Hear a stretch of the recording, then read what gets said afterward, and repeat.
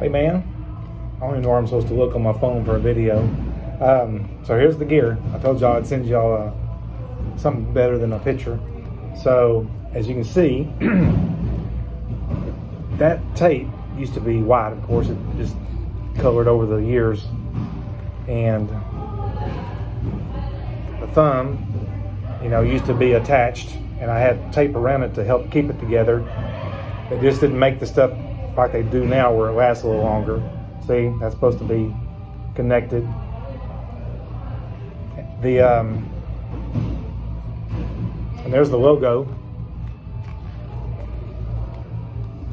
Jhoon Rhee. I think he came out with this in 80.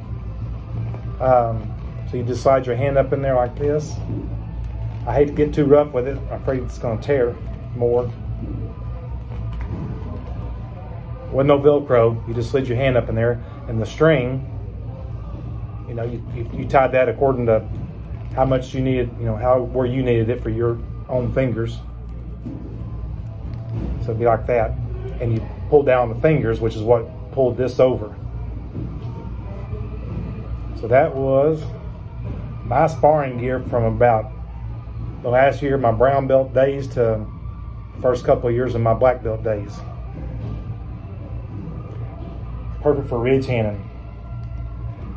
In fact, they beefed it up a little bit on this on this spot for ridge hands.